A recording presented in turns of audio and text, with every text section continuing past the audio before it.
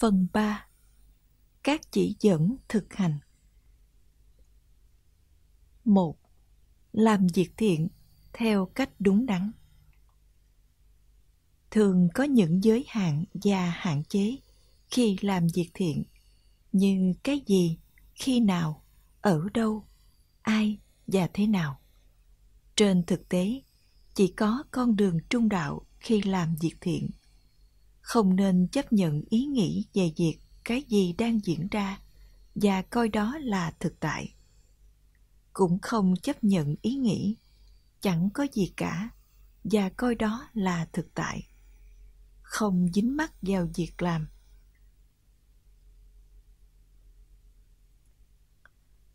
Không dính mắc vào việc làm thiện mà cũng không chối bỏ điều đó. Tức là không nên lấy bản thân làm trung tâm khi làm việc thiện hay làm với sự hiểu biết giới hạn, mà cũng không nên tránh không làm. Mọi người có thói quen làm việc thiện với những hạn chế và sự ép buộc. Con đường trung đạo duy nhất, con đường thật sự làm các việc thiện là vượt lên trên những giới hạn và kiến thức. Để làm các việc thiện theo cách đúng đắn cần thiết, làm theo sự hướng dẫn được xác thực của phật, pháp, tăng. Mọi người thường có khả năng làm các việc với những hạn chế như khi ở room hãy làm như người room theo thói quen, chúng ta thường làm việc thiện với các hạn chế. Ví dụ, chúng ta làm việc thiện với ý niệm dính mắt hoặc coi việc thiện, việc bất thiện người cúng dường, người nhận cúng dường, vật cúng dường là thực tại. Nói cách khác, chúng ta làm việc thiện với sự dính mắc vào những giới hạn. Ví dụ, mọi người thường làm với những khả năng hạn chế dưới đây. Thực hiện nghĩa vụ theo yêu cầu. Làm các việc thiện với những giới hạn. Tránh xa làm các việc bất thiện với bản ngã nếu làm các việc thiện mà xoay quanh bản thân, không có sự hướng dẫn của phật pháp tăng, thì bạn sẽ không thể làm theo cách đúng đắn, là cách chỉ làm mà thôi. Con đường trung đạo duy nhất, con đường làm việc thiện thực sự là không bám víu mà cũng không chối bỏ, không dính mắt và cũng không bác bỏ cố gắng làm việc thiện theo cách đúng đắn, chỉ làm mà thôi, với sự giúp đỡ của phật pháp tăng. Cố gắng làm việc thiện nhiều nhất có thể, và bạn sẽ có khả năng làm nhiều như bạn đã từng làm. Nếu bạn không bao giờ thử, làm sao bạn có thể học được điều đó? Hai, loại bỏ thói quen dính mắt chúng ta sẽ không thể làm việc thiện theo cách đúng đắn, chỉ làm mà thôi. Chừng nào chúng ta còn dính mắt, cố gắng buông bỏ thói quen dính mắt bằng làm việc thiện theo cách đúng đắn, chỉ làm mà thôi. Cố gắng buông bỏ thói quen dính mắt vào kinh nghiệm tốt, kết quả tốt, với ý niệm xác nhận những kinh nghiệm và kết quả đó cố gắng thoát khỏi sự xoay quanh bản thân hay những kiến thức giới hạn khi làm việc thiện. Theo một cách truyền thống, chúng ta thường làm việc thiện với sự dính mắc và sự dán nhãn như là, tôi làm việc thiện, tôi làm việc bất thiện. Với ý niệm coi, tôi, bạn, việc thiện, việc bất thiện, hành động, kinh nghiệm, thời gian, nơi chốn có tầm quan trọng. Cũng như người vận động viên cố gắng đánh bại đối thủ với ý niệm, coi chiến thắng thất bại tranh tài là thực tại. Bạn phải cố gắng buông bỏ thói quen dính mắt bằng khả năng làm việc thiện không giới hạn. Nếu không có sức mạnh trong làm việc thiện, làm sao chúng ta có khả năng làm việc thiện? Chúng ta sẽ không thể buông bỏ thói quen dính mắt vào các sự thật ngụy tạo, trừ phi chúng ta có sức mạnh của làm việc thiện. Ba, cách thức để không tham, aloha, không sân, adosa, không si, amoha. Theo thói quen, chúng ta chú ý vào các sự thật ngụy tạo, như là giàu hay không giàu, khỏe hay không khỏe có giáo dục hay không? Trẻ hay già? Đàn ông hay đàn bà? Làm cái gì hay không làm cái gì? Trong khi cúng dường, chúng ta chú trọng vào việc giàu hay không giàu. Có dùng hết tiền không? Dân dân thông thường chúng ta nghĩ tiền của chúng ta sẽ bị dùng hết nếu như chúng ta cúng dường, mà không xem xét đến điều kiện của tâm. Dính mắt, dán nhãn chú ý vào các sự thật ngụy tạo là vừa tham, vừa sân, vừa si. Cố gắng chinh phục tham giới vô tham bằng lòng, hào phóng. Sân giới vô sân, si giới vô si. Khả năng làm, suy nghĩ hay kiến tạo là những khả năng bình thường mà chúng ta có. Đó là những khả năng của tham, sân, si cố gắng chuyển từ khả năng tham, sân, si sang vô tham, vô sân, vô si bằng cách sử dụng khả năng cao nhất của làm việc thiện. Bố thí dana trì giới sila, hành thiền, bhavana.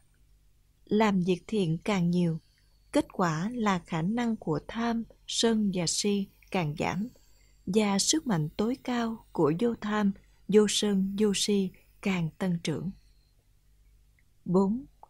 Phá dở truyền thống Bố thí cúng dường Dana Bố thí cúng dường Dana thực sự phá vỡ thói quen của lòng tham, chiếm giữ, dơ dào, dính mắt, liên tục tiếp diễn. Giữ giới, sila, phá vỡ thói quen của tham, sân. Ví dụ như làm điều gì giới tham muốn. Hành thiền, bhavana, phá vỡ những phiền não, kilesa, đang có mặt nơi tâm. Bằng việc hành thiền, chúng ta thách thức thói quen cá nhân của các phiền não quen thuộc nhưng là làm giới tham muốn làm việc thiện như đức phật dạy là thực hành sự xả ly và nó không phải là sự nỗ lực vô ích điều đó có nghĩa là phá vỡ thói quen truyền thống và thói quen cá nhân. Nói cách khác, làm việc thiện là xả ly, tham, sân, si. Bằng việc thách thức và buông bỏ các thói quen cá nhân, sức mạnh xả ly khỏi tham, sân, si sẽ càng lớn mạnh. Bằng việc thường xuyên buông bỏ bất cứ tham muốn nào, sức mạnh của sự xả ly sẽ lớn hơn và lớn hơn nữa bố thí, cúng dường đành là phá vỡ thói quen của lối suy nghĩ thế gian. Giữ giới sila là thách thức những truyền thống thế gian như là làm giới tham muốn, nghĩa là chúng ta đặc biệt chú trọng vào vấn đề sống và chết. Phương tiện trợ giúp gia đình, các vấn đề xã hội, giáo dục, làm ăn, sự tự tin. Hành thiền bhavana là một loại buông bỏ thách thức phiền não, kilesa, thói quen cá nhân của việc làm giới tham muốn. Trong tâm của chúng ta có các quan điểm như chúng ta phải học, chúng ta phải cố gắng nói hùng hồn, chúng ta phải làm việc, mà không có những quan điểm như chúng ta phải nỗ lực làm việc thiện, chúng ta phải cúng dường dana chúng ta phải giữ giới sila chúng ta phải thiền bhavana khám phá sự thật bố thí, trì giới, hành thiền là đối diện với tham, sân si, những thói quen thường xuyên theo đuổi các sự thật ngụy tạo hoặc gián nhãn. Chúng ta làm việc thiện, bố thí, trì giới, tham thiền càng nhiều, sức mạnh của vô tham, vô sân, vô si càng lớn. Sức mạnh xả ly của vô tham, vô sân, vô si đặc biệt liên quan đến tâm. Con người có thể chỉ hiểu về các đối tượng rõ ràng và nghĩ khả năng của họ là thật. Ví như khả năng của diễn viên có thể được thấy trên màn ảnh. Trên thực tế các khả năng có thể thấy được chỉ là các khả năng ngụy tạo không có thực chúng ta chưa hiểu được sức mạnh của sự xả ly, vô tham, vô sân, vô si. Nhưng là sức mạnh xả ly đối với các sự thật ngụy tạo. Tốt và xấu. Sức mạnh xả ly đối với những vấn đề thế gian.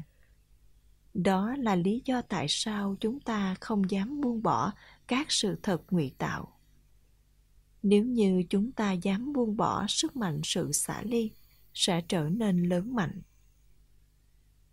Chỉ khi đó, sức mạnh của việc phá vỡ các truyền thống thế gian như là làm ăn, học hành, cạnh tranh, trả thù trở nên lớn mạnh.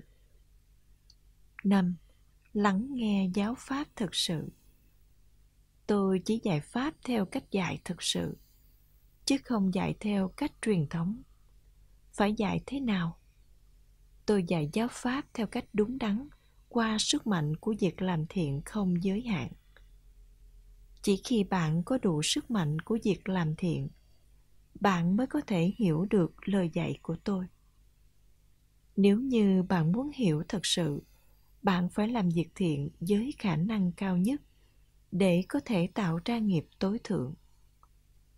Bạn sẽ không thể hiểu nếu như bạn dính mắc chặt chẽ vào các sự thật ngụy tạo và những truyền thống giới hạn, như là cái gì, khi nào, ở đâu, ai, thế nào, chúng ta sẽ quen bị cuốn vào các sự thật ngụy tạo hay các nhãn của những thứ chúng ta ưa thích, như là các tính cách ngụy tạo, mưu đồ, thời gian, nơi chốn và tình huống ngụy tạo bởi thế chúng ta không thể nghe giáo pháp thực sự, vì chúng ta không thấy sự ưa thích của mình ở trong đó. Nói cách khác, các sự thật ngụy tạo không có ở trong đó. Tôi dạy giáo pháp theo cách đúng đắn, không dính mắc vào các sự thật ngụy tạo, như cái gì, ở đâu, khi nào, thế nào. Ai, sự ưa thích, tính cách Moodle. đồ nghe giáo pháp thực sự càng nhiều sự dính mắc vào các sự thật ngụy tạo càng ít 6. Hiểu rõ mục tiêu của làm việc thiện Cần thiết phải buông bỏ thói quen dính mắc của tâm vào thời gian, nơi chốn, kinh nghiệm, phương pháp, các pháp mà chúng ta đang nghe.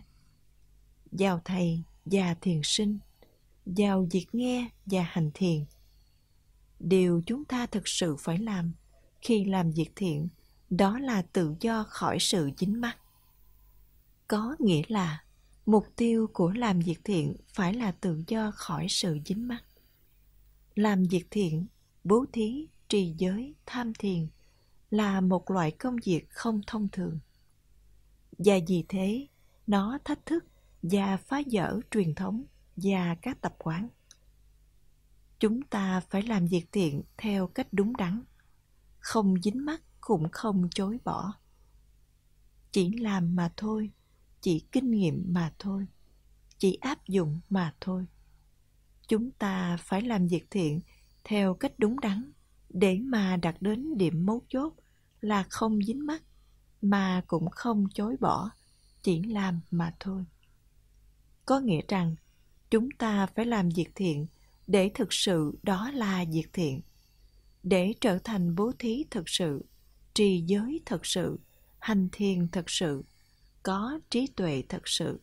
Dana, sila, bhavana ban nhà để có thể làm việc thiện theo cách đúng đắn, chúng ta phải sử dụng mà thôi sự bố thí ngụy tạo, trì giới ngụy tạo, hành thiền ngụy tạo, trí tuệ ngụy tạo chúng ta thường có thói quen làm việc thiện với mong muốn trở thành cái gì đó.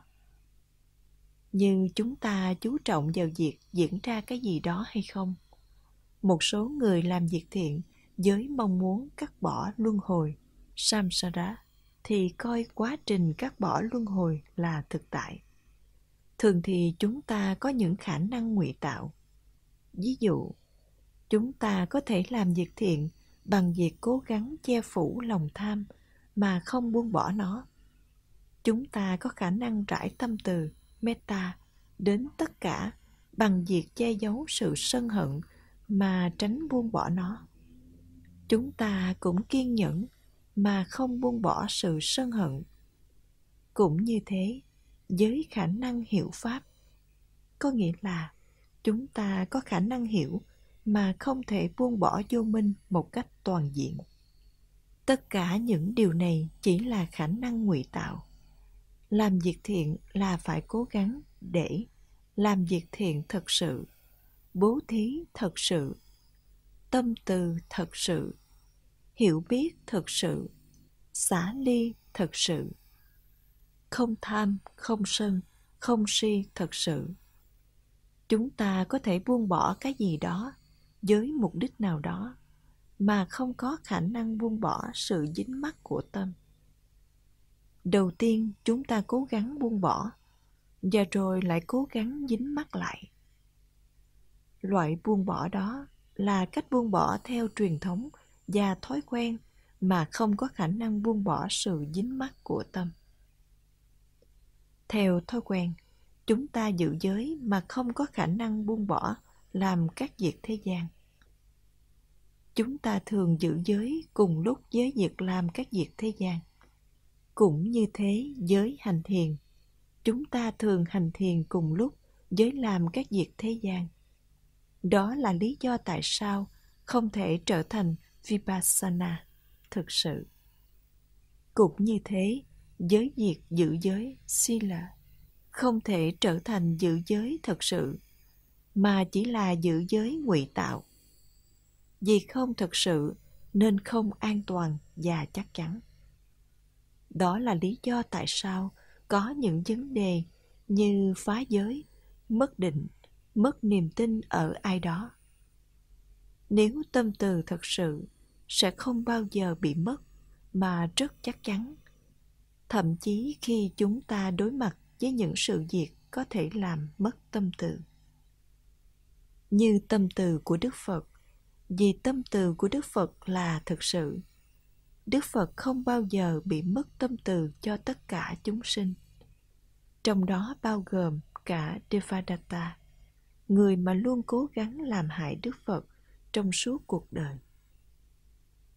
Nếu tâm từ của chúng ta không phải là tâm từ thực sự, chúng ta sẽ mất nó ngay cả khi đối mặt với những trường hợp rất tầm thường nếu như chúng ta không hành thiền một cách tự nhiên, chúng ta sẽ sử dụng dana, bố thí sila trì giới, bhavana, hành thiền, banya, trí tuệ, ngụy tạo.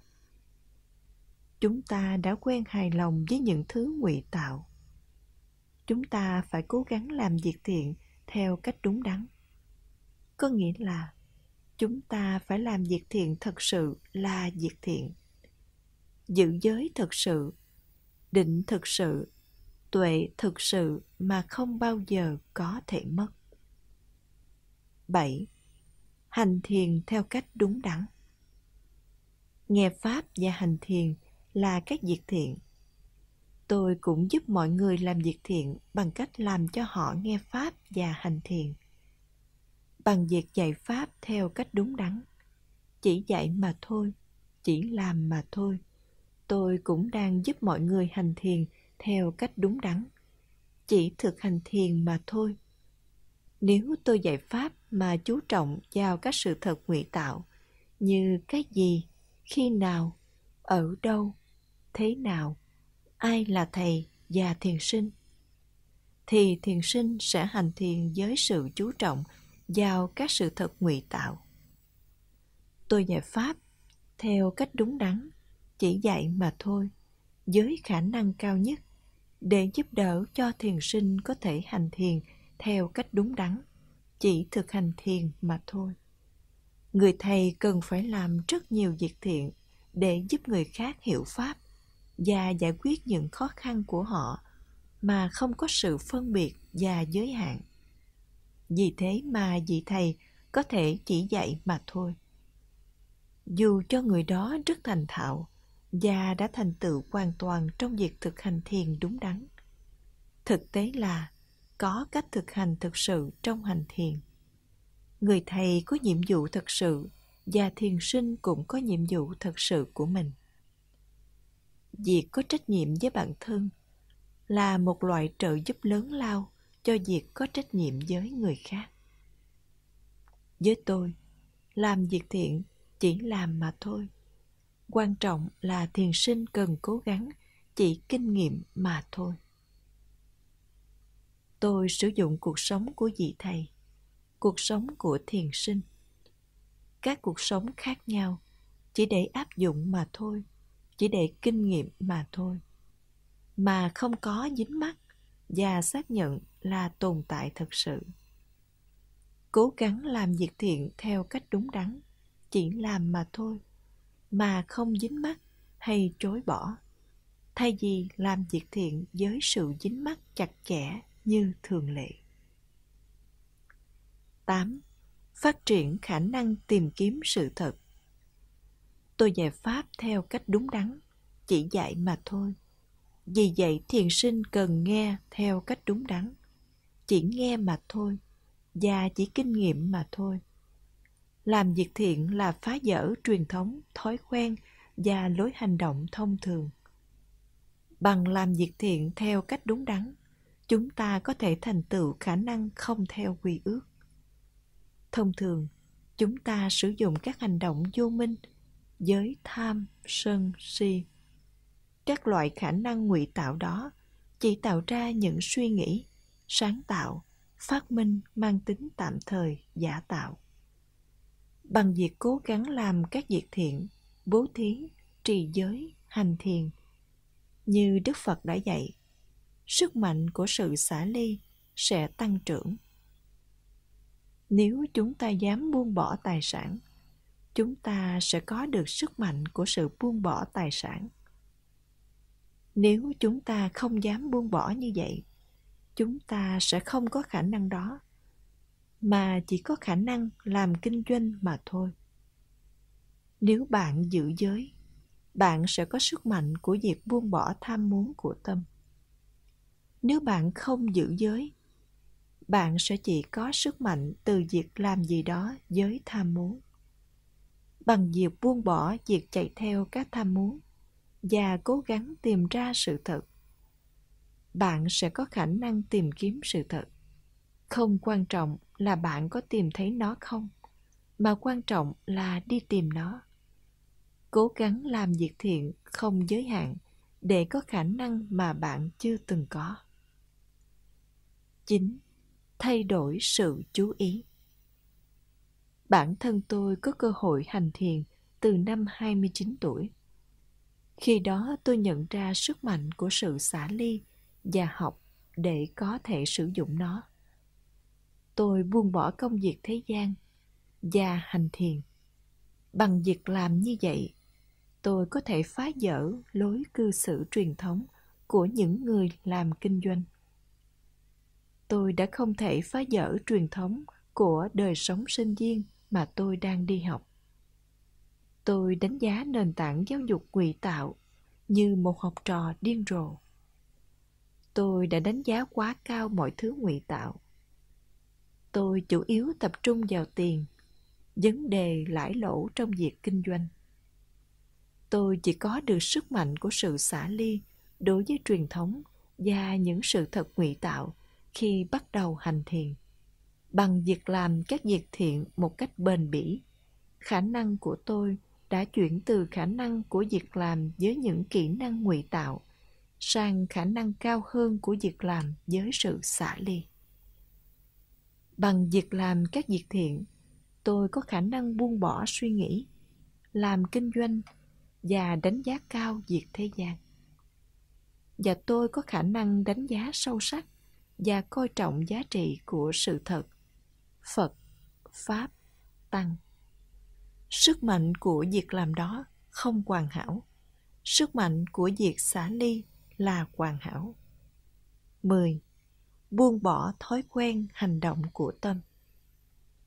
Chúng ta phải làm việc thiện để có thể có đủ nghiệp cao thượng. Theo thói quen, chúng ta làm việc thiện với tâm chú trọng vào các sự thật ngụy tạo như cái gì khi nào ở đâu ai thế nào với những hạn chế và giới hạn và thái độ vô thức về việc trở thành cái gì đó, hoặc mọi thứ mà chúng ta thèm muốn hay không đối diện với thứ chúng ta không muốn. Chúng ta phải thực sự làm việc thiện như thế nào? Làm việc thiện theo cách đúng đắn, bằng việc chỉ làm một cách bền bỉ. Làm càng nhiều càng tốt, và bạn sẽ có sức mạnh lớn hơn để tiếp tục làm. Ví dụ, nếu bạn làm một cách tạm thời sẽ có sức mạnh tạm thời. Nếu làm với ít sự xả ly, có sức mạnh của việc xả ly ít. Nếu làm với sự xả ly nhiều, có sức mạnh của sự xả ly nhiều. Nếu có thể buông bỏ, đến khi không còn gì có thể buông bỏ, bạn sẽ có sức mạnh của sự xả ly hoàn toàn. Làm với sự xả ly nhằm tạo ra sức mạnh tối cao của sự xả ly sức mạnh xả ly càng lớn, sự dính mắc vào các sự thật ngụy tạo hay dán nhãn càng ít đi. Và bạn sẽ có thể buông bỏ sự chú trọng vào các sự thật ngụy tạo hay dán nhãn. Bạn có thể buông bỏ thói quen truyền thống các hành động của tâm. Theo thói quen, chúng ta sử dụng tâm với sự dính mắc vào các sự thật ngụy tạo hay dán nhãn chúng ta sẽ không thể buông bỏ sự dính mắc vào các sự thật ngụy tạo, trừ phi chúng ta có sức mạnh của làm việc thiện. Chúng ta sẽ không thể dừng lại hay kiểm soát tâm của chúng ta và các hành động của tâm. Chỉ khi chúng ta cố gắng làm các việc thiện cho phật, pháp, tăng, thì chúng ta có thể buông bỏ thói quen hành động của tâm chúng ta sẽ có thể kiểm soát được tâm 11. Sử dụng cuộc sống và tài sản theo cách đúng đắn. Tôi đã xuất gia, làm nhà sư nhờ sức mạnh của sự xả ly. Và bây giờ, tôi sử dụng cuộc sống của nhà sư với sức mạnh của sự xả ly. Cuộc sống và tài sản liên tục trôi đi. Vì vậy, sử dụng cuộc sống và tài sản với sức mạnh của sự xả ly thì thích hợp và đúng đắn. Sử dụng theo cách đúng đắn. Nếu không, bạn sẽ không thể sử dụng cuộc sống và tài sản vốn chỉ là để xả ly và buông bỏ theo cách đúng đắn chẳng có gì phải lo lắng cho bản thân hay người khác nếu như có sức mạnh xả ly chỉ khi bạn có sức mạnh của sự xả ly, bạn có thể làm việc thiện không giới hạn. 12. Kiên nhẫn với cái đau và sự khổ sở. Tôi có thể truyền bá giáo pháp như đức phật đã dạy, qua sức mạnh của sự xả ly, sức mạnh của sự bao dung, sức mạnh của sự kham nhẫn cái đau, cái khổ mà không dính mắt và kết quả là không có vấn đề gì với tôi ngay cả khi những người khác cố gây khó dễ cho tôi chúng ta cần phải bao dung với cái đau cái khổ khi làm các việc thiện bằng cách quy y Phật, Pháp, Tăng. Nếu không thể bao dung với những cái khổ đó, chúng ta sẽ không thể tiếp tục làm việc thiện. Làm việc thiện là cách để tạo ra sức mạnh cao nhất của việc thiện không tham, không sân, không si.